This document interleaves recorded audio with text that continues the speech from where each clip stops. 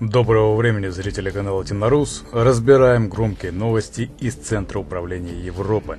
Итак, на днях громкие заголовки пестрили новостью, что королева Елизавета II великодушно пожаловала титул британского барона сыну российского олигарха Александра Лебедева. Такими новостями были шокированы даже жители Англии.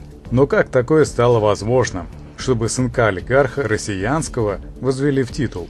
И что именно его титул обозначает? Эти вопросы мы выясним в этом видео.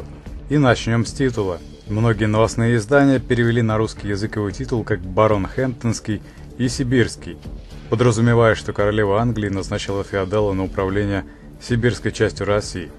Но это не совсем так. Титулы английской знати прописываются в старом речевом стиле, и только первые слова до запятой могут обозначать закрепление какой-то территории за бароном. В случае с сыном олигарха из Рашки Титул обозначает, что пацаненок пребывает то в Хэмптоне, то в России, то есть говорит о происхождении. То есть Лебедев-младший получил звание просто барон. Здесь не закреплено никакое владение территориями.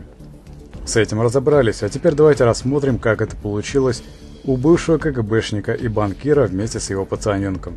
У олигархической семейки в распоряжении находятся два печатных лондонских издания и один телеканал, который называется London Life. Давайте прикинем расценки. Небольшая халупа в 50 квадратных метров в Лондоне стоит 90 миллионов российских рублей. Это вот для прикидки.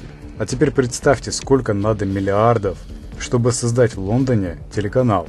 И откуда все эти миллиарды его папашей, бывшим банкиром и КГБшником, выкачивались? Из чьих карманов в России? Кроме этого, олигархическая семейка отличилась спонсированием мэра Лондона Бориса Джонсона – они вливали в него столько бабла и так нализывали пятую точку, что в итоге, когда он подавал прошение к королеве, он включил в список пацаненка КГБшного олигарха.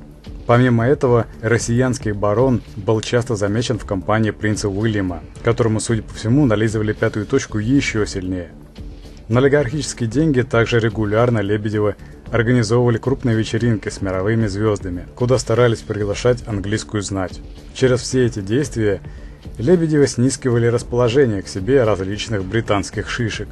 И сейчас, на данный момент, в Верхней Палате пэров насчитывается 800 человек. И Евгений Лебедев теперь находится в их числе –